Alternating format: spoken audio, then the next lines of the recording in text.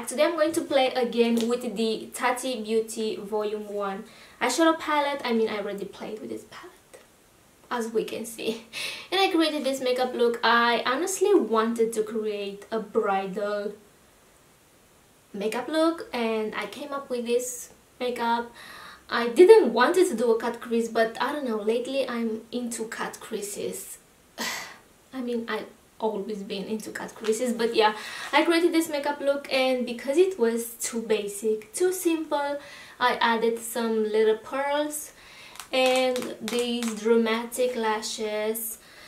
Uh, these are the Lavio Barcelona lashes and um, wow I haven't used them in a very long time. So if you guys want to see how I created this makeup look then keep on watching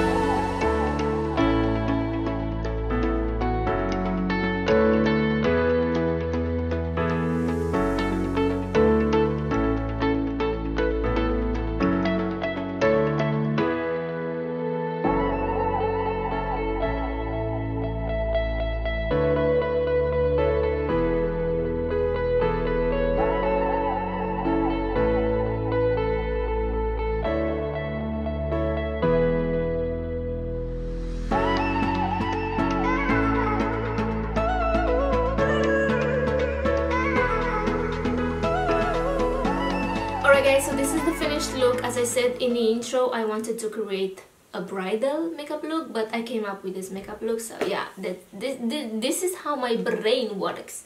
So uh, I want to point out something.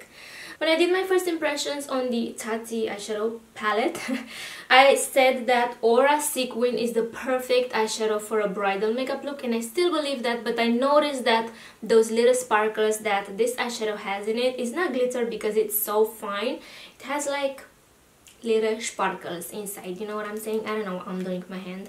Uh, they fall. So I have that eyeshadow all over the white part right here and I can't see those little sparkles I'm talking about. You know what I'm saying? Uh, I did use a metallic shadow first and then I applied the Aura Sequin but I can't see those little sparkles. Like I don't know. Can you see them? Because I cannot right here. Can you see any? I mean there's still like very little amount of sparkle in there but this eyeshadow is packed with uh, little sparkles. I don't know if the camera will focus but this is this is the eyeshadow I'm talking. Um no you can't see but you can see this one has a lot of sparkles. So this one is the same just is white kinda.